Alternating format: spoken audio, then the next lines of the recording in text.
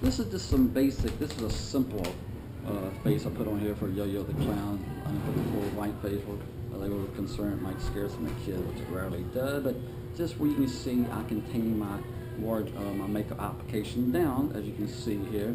If you're worried, but usually I don't scare the kids. But this is a simple tamed down version makeup application of uh, Yo-Yo Magical Clown. But you can see some of the set here. Um, this is some of the set. We do bring our own sound, a nice professional sound, some of our equipment backstage. We got enough, uh, we can bring intelligent lights if you want to upgrade. Uh, some of the uh, pendant banner, neon fluorescent. We can bring a black light to illuminate all of that. Just some of the set here. You can see here. What do you think about the set, sir? The circus set. It looks good. Oh, thank you, thank you. Yeah, carnival theme, big circus, the big top here. Hey, we even have our own backdrop here. Uh, uh, we can backstage here. We can put some of our props here.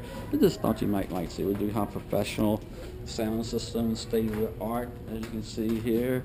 And we can, if you want to upgrade, bring some intelligent lights here. Uh, uh, that we can program anything you want. But there, I just thought you might like to see that here.